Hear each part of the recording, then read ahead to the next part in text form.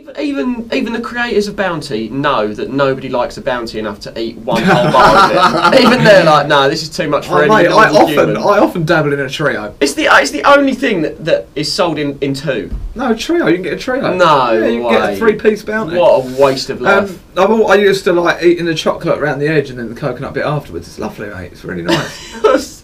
You're- you- Just because you're uncultured, you see. I like a bit of uh, a little bit, uh, a little bit of foreign. when I'm chocolate.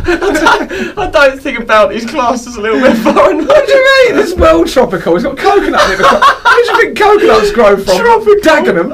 Oh yeah, I just got picked a couple of coconuts from the tree down the road.